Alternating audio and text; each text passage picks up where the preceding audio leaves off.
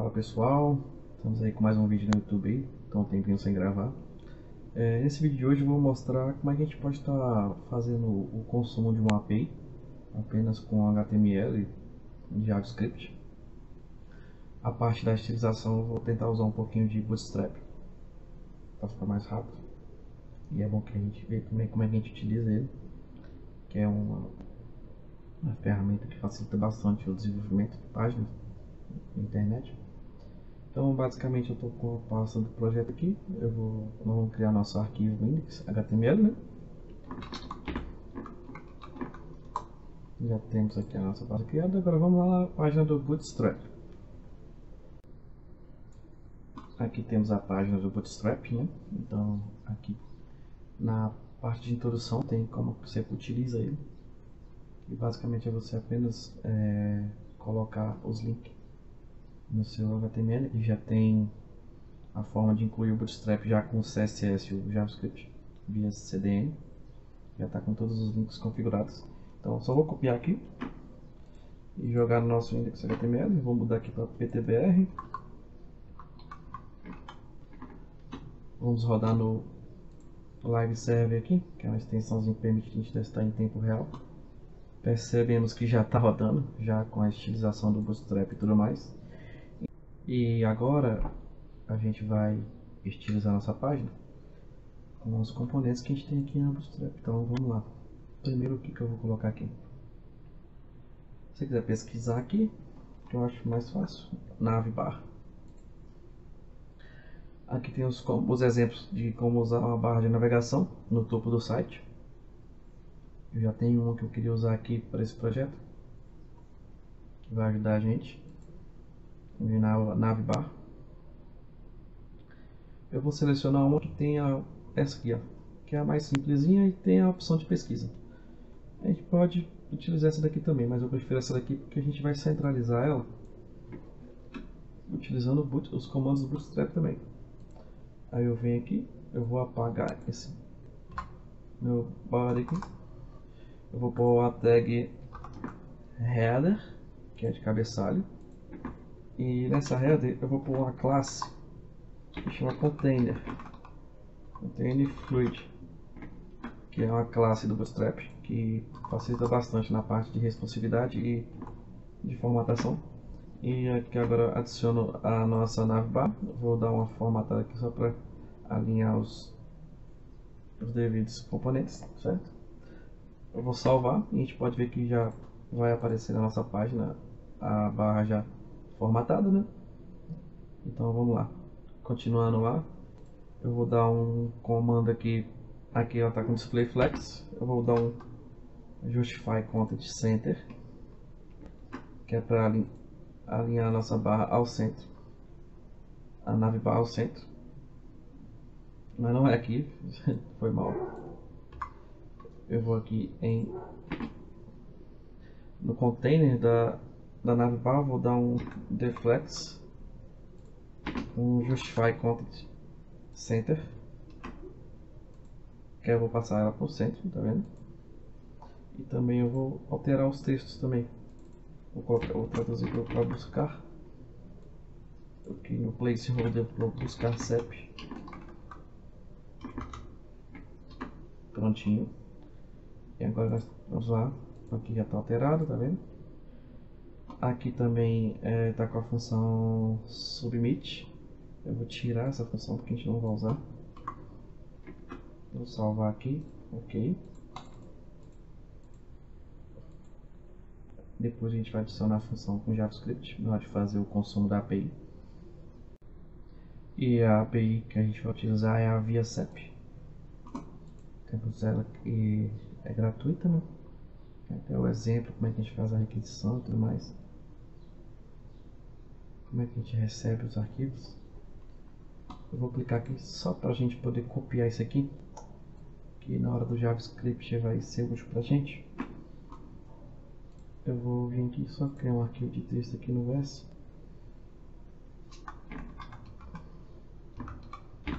só para deixar copiado aqui daqui a pouco a gente utiliza vamos continuar aqui a estilizar eu tenho já a aba de busca, então vamos lá fazer, vamos buscar um card para a gente colocar no nosso projeto.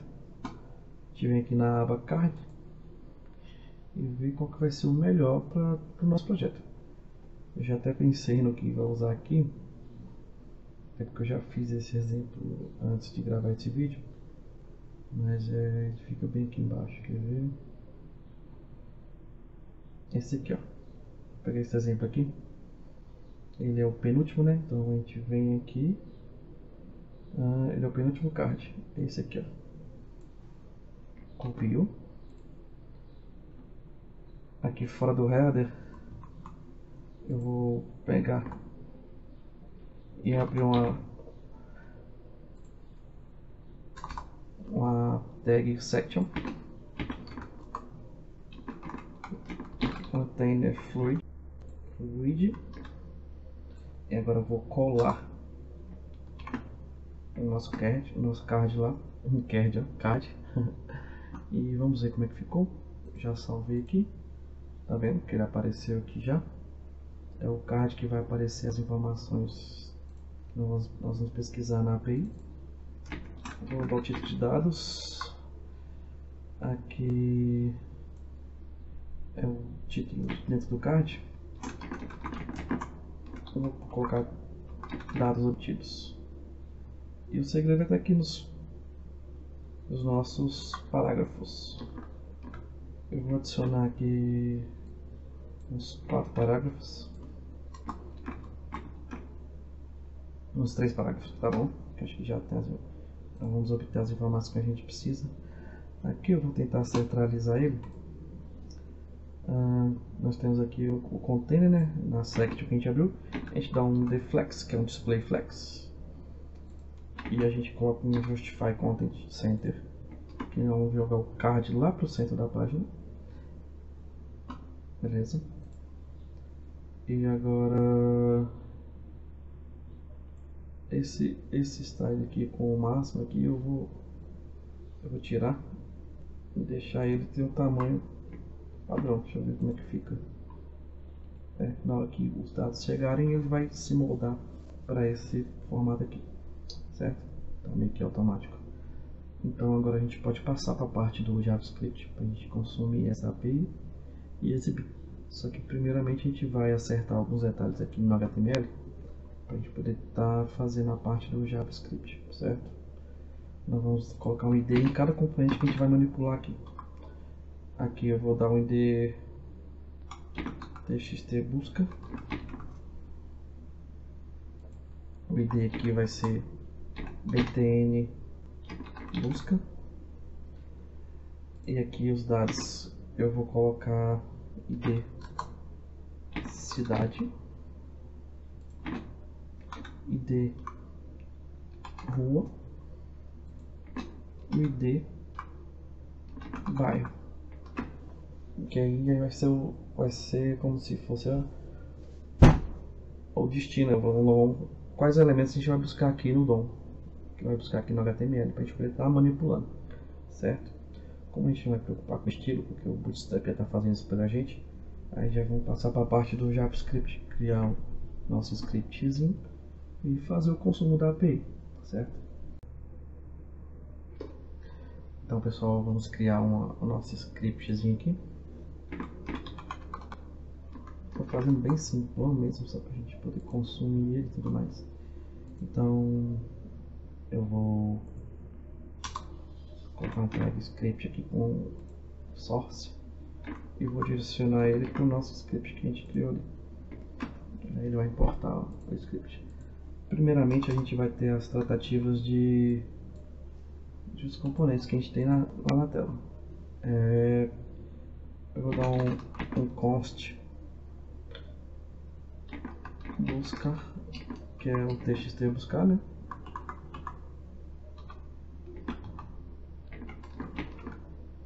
Vou txt busca, dar um doc document, get element by id e o, o id que a gente passou para ele lá foi txt busca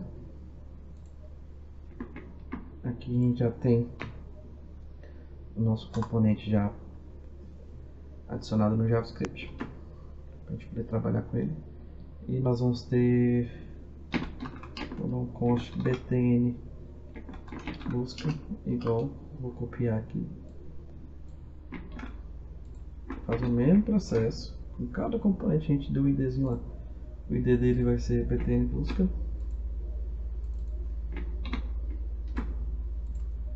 Aqui nós vamos colocar os nossos parágrafos.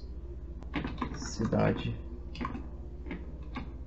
Opa, tinha copiado errado, vou copiar de novo esse documento. Só para agilizar aqui. Deixa eu ver se eu ideia cidade mesmo, fiz. Cidade, rua e bairro. Então vamos. Vou copiar duas vezes aqui para adiantar. Para não ficar digitando tudo. boa. Vai. Agora a gente já consegue manipular esses componentes. Vamos, fazer um teste aqui. Vou por rua.inner é igual rua teste. Eu vou salvar aqui. Nós vamos lá no. Tá vendo? Nosso rua já atribuiu o valor que a gente deu para ele lá. Que é isso. Essa vai ser a logística da do consumo da API. Nós vamos fazer basicamente isso, certo? Agora eu vou colocar a função de a função que vai pegar os dados da API para gente, para gente poder trabalhar com ela, certo? Primeiramente eu vou fazer aqui function get data ele recebe o parâmetro que vai ser o CEP. E agora nós vamos fazer a, através do comando fetch, nós vamos consumir a API, dar um template literal para poder colocar o, a nossa nosso endereço da API aqui. Aqui nós temos aqui um exemplo, né? Eu vou copiar aqui. Aqui vai ser o link. Esse lugar aqui é destinado ao CEP, então a, nossa variável data vai vir aqui. Essa aqui é uma forma de depolar os dados. Data vai ficar aqui, certo? E agora nós vamos fazer um then. Vamos receber a resposta.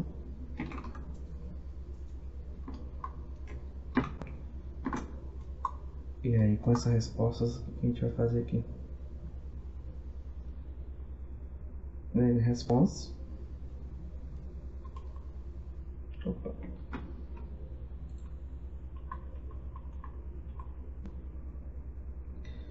Main response vai ser response.json. Vou passar ela para formato JSON. JSON. Eu dou um outro D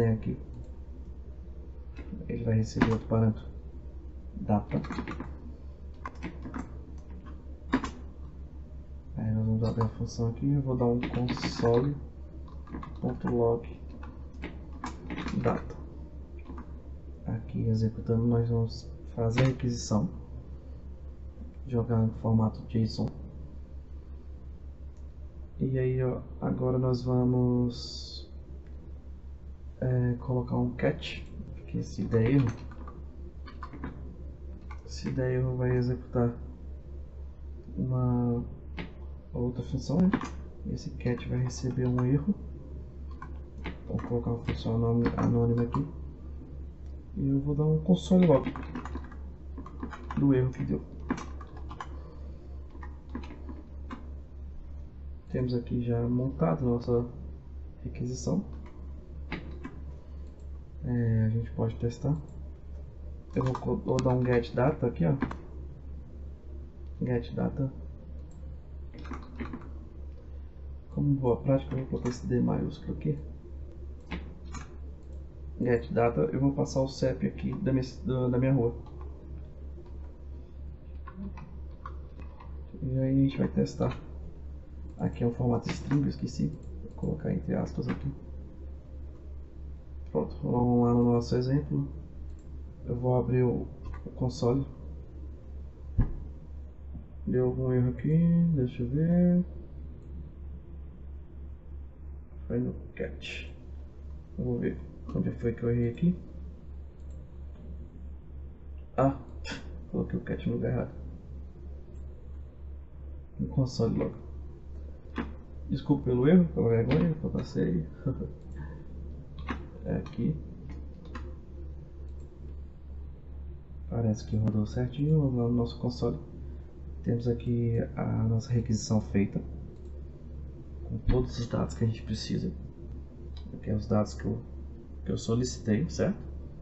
Então agora, já sabendo disso, a gente vai continuar fazer nosso código. Agora que a gente testou lá, a gente vai... Tem duas formas, a gente atribui uma variável aqui e dentro da promise aqui a gente faz essa atribuição e depois trata, ou a gente pode tratar aqui dentro mesmo, porque eu fiz uma promise para poder pegar a requisição. Após essa, essa promessa ser cumprida, eu passei para outra promise, quando eu den aqui, e aí aqui dentro eu tenho os dados, eu recebi os dados da os dados que eu recebi da API e agora eu posso tratar eles. Por exemplo, eu vou tratar aqui cada dado, dado elemento do seu devido elemento aqui, eu vou tratar aqui dentro. Então, por exemplo, vai ser data ponto. Eu vou colocar cidade. Desculpa, eu vou colocar cidade ponto inner html é igual ao data data ponto Vamos ver como é que ele trata. O nome da cidade fica em localidade. Então vai ser data.localidade mais vou interpolar mais data ponto a informação de estado vem com o f data ponto uf ou seja eu vou pegar o cidade o que o parágrafo cidade e vou adicionar essas informações dentro do parágrafo nós vamos lá no nosso exemplo, aqui. a resposta da API já está sendo passada para dentro do parágrafo. Eu vou aqui agora pegar informação de rua. Rua.inner HTML é igual data ponto como é que tá a rua tá como logradouro Aí eu vou passar o logrador aqui. E vai estar lá no nosso exemplo. Só que antes de passar para lá para a gente ver o resultado, vou para o bairro em HTML é igual a data ponto. Como é que tá o bairro? Hum, é bairro mesmo. O data ponto bairro. Ou seja, eu acesso o meu objeto e pego a informação que eu quero dele. Nessa, nessa tratativa aqui. Se a gente for lá agora, nosso card está completo. Os dados obtidos. A cidade, a rua e o bairro. Aí a gente pode implementar a nossa, a, ao nosso gosto. Eu vou até tirar esse dados obtidos aqui, porque fica muito repetitivo, né? Então vamos lá. Vou tirar esse H5 aqui. Ou eu posso também colocar a cidade no nosso H5 eu vou eliminar esse P aqui. Aí eu vou colocar aqui do jeito que ele é. O P era, né? Agora deve ficar mais um aspecto melhor. Então, vamos ver lá. Aí ficou até mais bacana, na minha opinião. Agora a gente vai fazer a tratativa para o que eu digitar aqui gerar a pesquisa aqui, através do evento do clique aqui nesse botão, certo? Agora vamos fazer a função que vai pegar o texto e fazer a nossa pesquisa. Analisando aqui, a gente colocou dentro do formulário. Se a gente clicar nesse botão aqui, ele vai gerar um submit. E aí submit vai apagar os dados, vai reiniciar a página. Porque a gente não passou nenhum método. Então, o que, que vai acontecer? Vai dar um, um atualizar a gente vai perder nossos dados. Então a gente vai fazer um, uma tratativa aqui para que isso não aconteça, certo? Então é, vai ser btn busca ponto add event listener onde o evento vai ser um clique e nesse clique eu vou passar uma função um evento dentro dessa função eu vou passar um evento dentro dessa função abrir minha arrow function e meu E vai ser vou dar um private default para evitar o submit.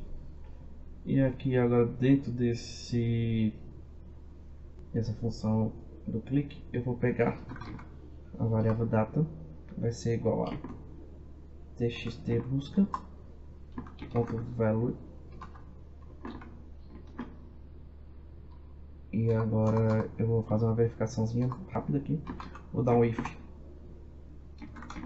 se data for igual a uma string vazia eu vou emitir um alerta um alert falando por favor digite um valor. Aí para evitar a gente passar qualquer coisa errada para nossa função de busca. Certo? Agora no else eu já vou colocar a nossa função de busca. Vou dar um get data passando data para a função. Aí o que, que eu estou fazendo? Estou pegando o CEP digitado, passando dentro da função getData e dentro do getData, eu vou estar jogando data aqui. Então eu vou estar jogando o CEP na requisição e obtendo todos os, os valores. Se eu passar algo errado, eu vou dar um console log erro e eu vou dar um alert também. CEP inválido. Agora depois do get dado também eu vou dar um sep ponto value opa igual vazio para limpar o nosso limpar o nosso campo e pronto já fiz toda a função de busca agora vamos testar 39 2 76058. Pronto. Passei a função aqui. Passei para dentro da, da função a nosso CEP e obtive o resultado. Ah, é. Eu, eu errei na tentativa ali. Não é CEP, não. Eu tô CEP na cabeça, mas é TXT busca. Por isso que deu aquele erro. Vamos lá de novo prontinho, fez a busca, limpou o campo e exibiu os dados. E basicamente é isso pessoal, é, é isso que eu tinha para passar para vocês. Aqui a gente viu um pouquinho de JavaScript, um pouquinho de Bootstrap e é o básicozinho que eu queria passar para vocês. Eu espero que tenha passado as informações de forma clara e que se eu falei alguma coisa fora do contexto aí, pode me corrigir, porque eu também não sei tudo, eu tô aprendendo com vocês, eu sou um estudante. E se Deus quiser um futuro deve. E deixa o like aí no canal, se inscreve, recomenda para os amigos. Estou tentando buscar o maior número de material possível para estar tá passando para vocês na medida do meu tempo. E é isso aí. Valeu!